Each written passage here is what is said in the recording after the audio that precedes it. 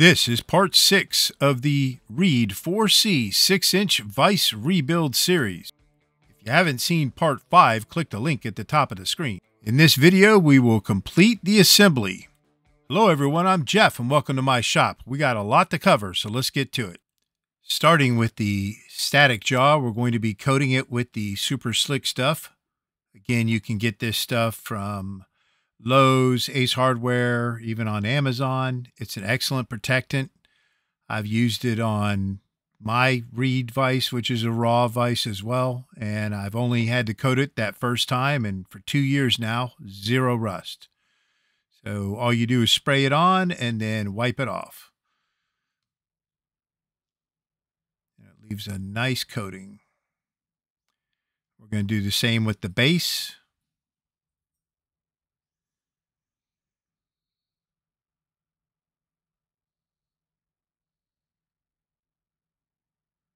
And then we'll do the same with the dynamic jaw.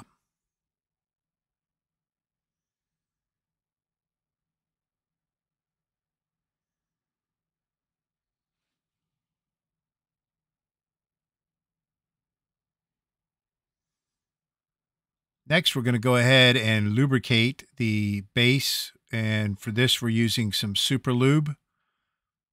Love this stuff. Synthetic grease, and we're basically going to lube the inside where the teeth are, as well as both of the locks and the uh, the two rings on top that are milled. Then we'll install the static jaw on top of the base. And then we'll lube the inside threads of the two swivel locks and then install them.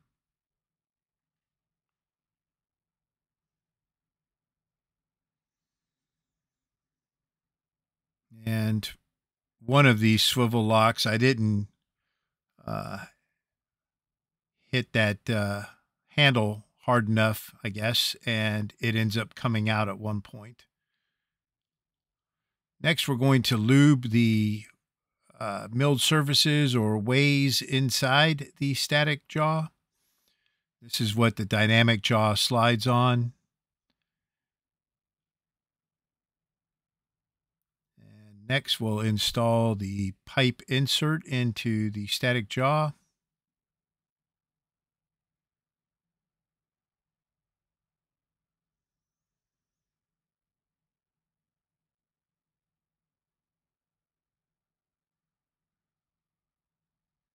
I had to play around with these pins a little bit.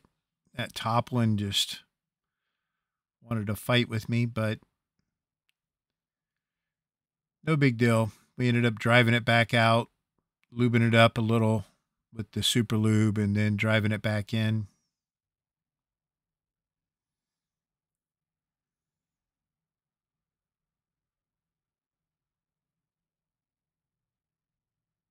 Rather these be hard to get in and out than to have them loose in there. We're just making sure they're even on both sides. If you're going to do this, make sure you're using brass tipped tools, the punches and the mallet there.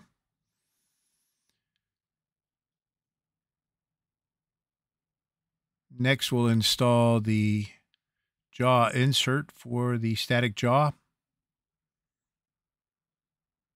Just like we did before. And this is why we indexed those jaws when we originally took them off so that we knew where they went. So next I'm going to go ahead and lube up the ways or the dovetail area on the inside where the main vice nut goes. And then we'll lube up the opening on the bottom and the threaded area on the inside of that for the center bolt.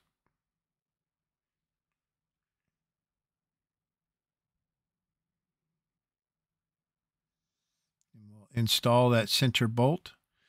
It's not going to screw down all the way right now because we've got the uh, the locks locked down.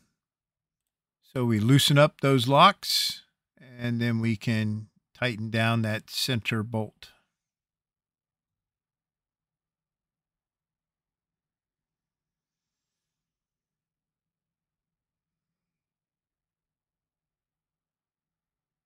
And just like with the jaw inserts, we probably could have put some uh, some medium strength thread locker on this and the jaw insert screws, but eh, who cares? It'll be fine. I normally don't use it on my vices, so just making sure that works. And as you can see on the left hand side there, the handle is missing from that lock nut. I'll take that off screen and uh, hit it with a hammer a couple times and get it installed. And now we can reinstall it.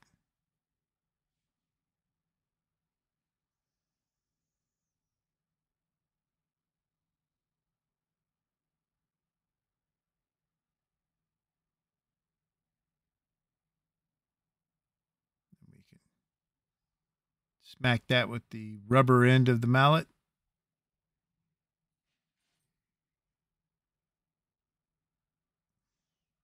And we're good to hook.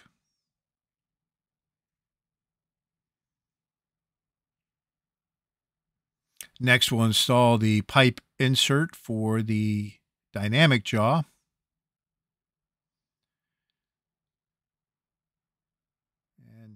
Again, the top pin is the one that gives me trouble here, but I managed to get it squared away. And we'll just even those out.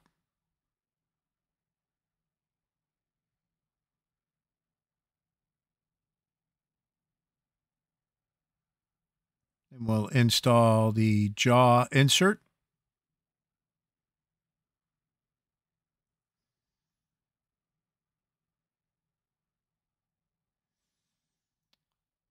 And next we will lube up the main vice nut.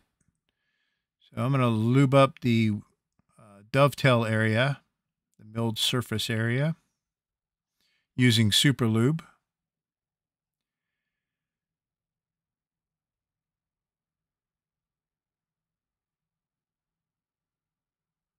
Then I'm going to lube up the threaded area on the inside with a different grease altogether.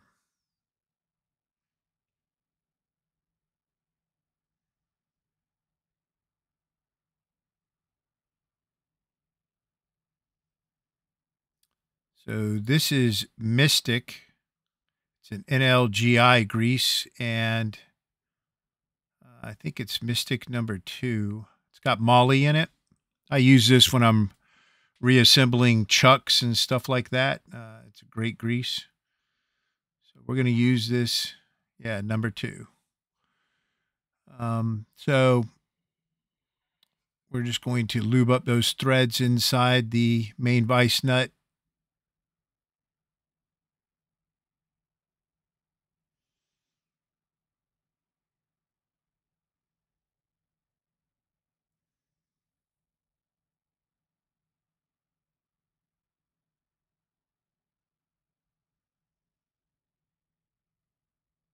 then we'll install the nut.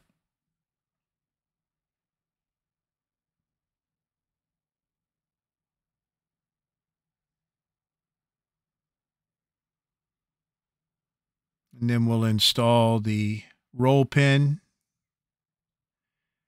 and the little screw that uh, Jordan had modified it with. So this is turbine oil, and this is what we're going to lube up the thrust bearing with. We've got those two shims, one that goes on each side of that thrust bearing. So we'll lube up the thrust bearing and the shims. And then lube up that entire opening there that they're going to reside in.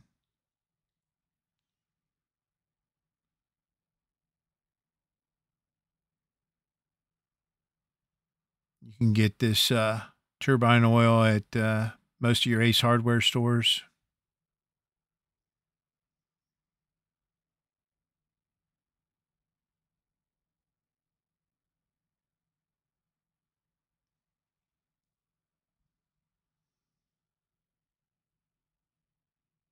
And then we're going to use the Mystik on that bore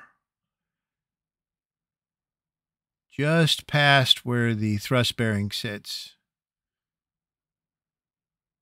because the spindle rides in that bore. Next, we'll lube up the two halves of the split nut.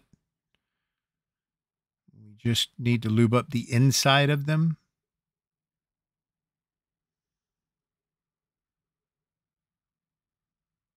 And then we'll lube up that threaded area you can see inside the opening on the uh, dynamic jaw there.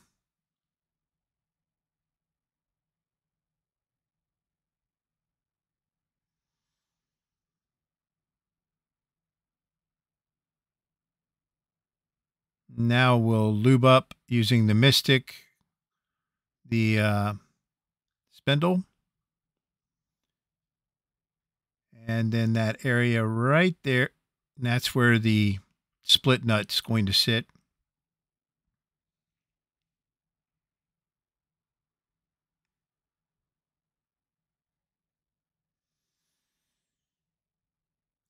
Then we can install the spindle.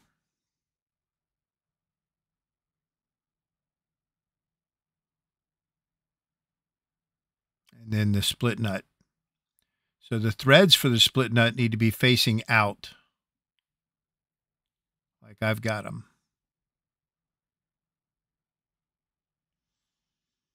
And just kind of holding all that together, you can get that split nut started. Once it's started, it'll spin on there no problem. We'll be making a further adjustment to this in a little bit.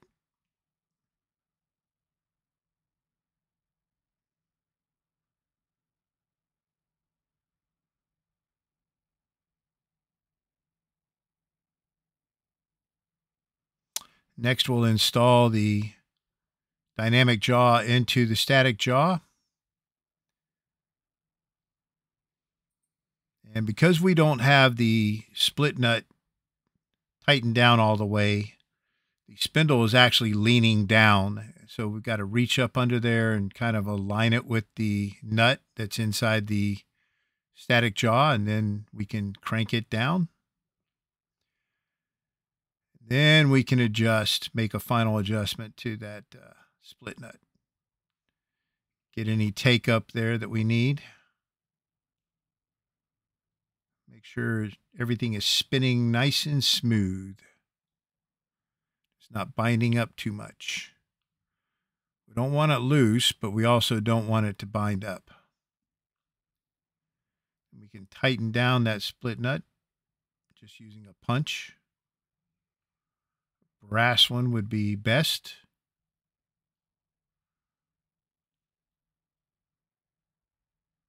And as you tighten it down, you'll you'll start to feel that it's grabbing on the spindle, preventing the spindle from spinning freely. So I like to go a little bit too tight and then back it off a little.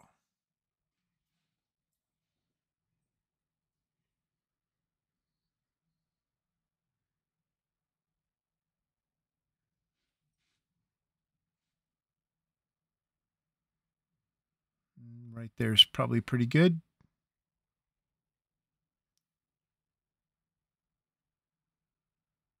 So that split nut would just work itself loose over time if it weren't for the locking screw that locks it in place. And so we need to install that next.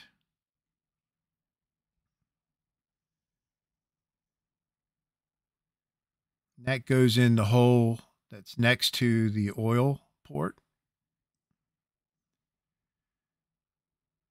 And so again, you're going to have to tighten it down and then back it off a little. And then check that the spindle spins freely.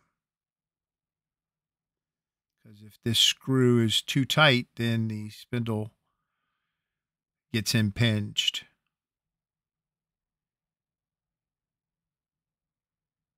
Too tight.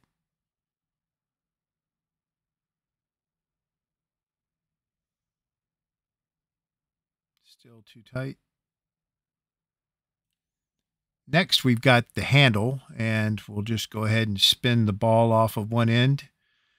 And Jordan had O rings on the handle to cut down on the banging of it as it slid from one end to the other.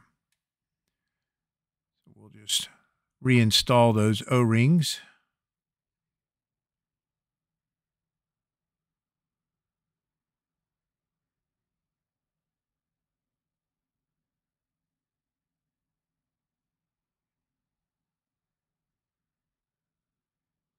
And then we can put the end ball back on.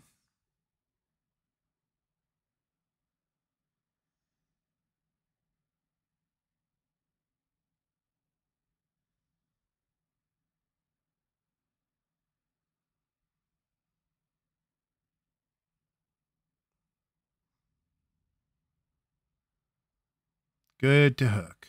So we're just going to give everything kind of a testy test here to make sure everything's moving like butter.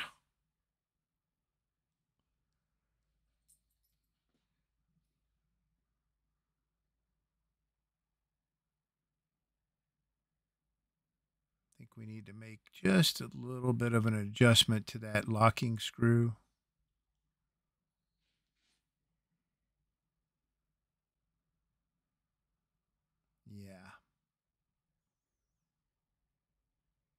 Now we're cooking with gas. All right, so we'll add a little bit of oil in there to where that thrust bearing is. Again, this is the turbine oil.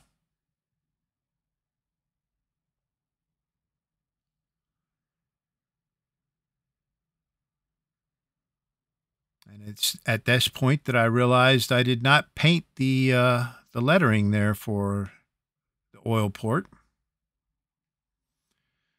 So I'm just going to use a little bit of uh, acetone. To clean up this area. We need to wipe up that oil.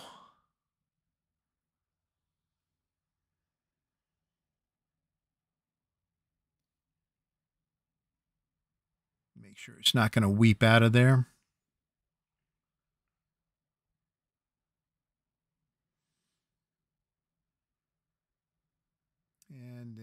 Clean up that lettering with the acetone.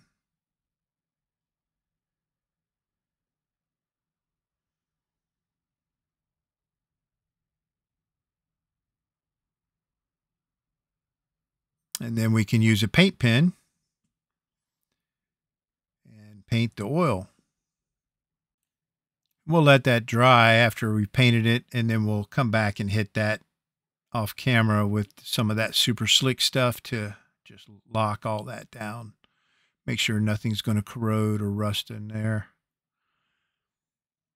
All right, so Jordan also had some copper jaws for this. I cleaned those up and we're going to install those. So this is one of the copper jaws. And if you ever buy any, they usually come about bent like they are right now. And you can just bend them around with a uh, dead blow rubber mallet. Like so. I've got these on my reed and I love them.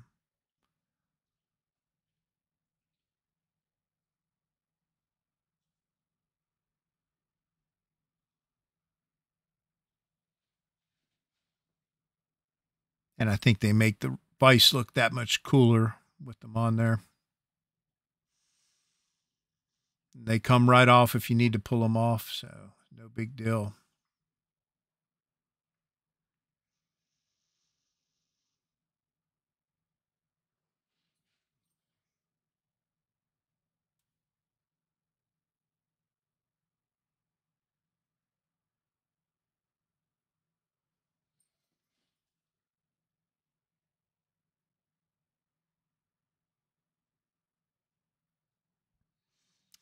So this is where we started. This was the vice as it was dropped off at my house. And decent amount of rust on there. Decent amount of paint left on it. And this is the finished vise.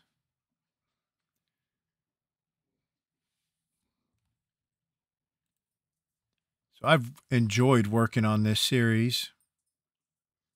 I always like working on vices. It's the biggest vice I've ever worked on, though. Really cool vice. The 4C. Well, I hope you enjoyed this series. If you did, please like and subscribe. Not quite sure what I've got lined up next. I've got several things that I can do, but I haven't decided what we are going to do. As always, I appreciate the support. If you got comments or questions, leave them in the section below and I will see you next time.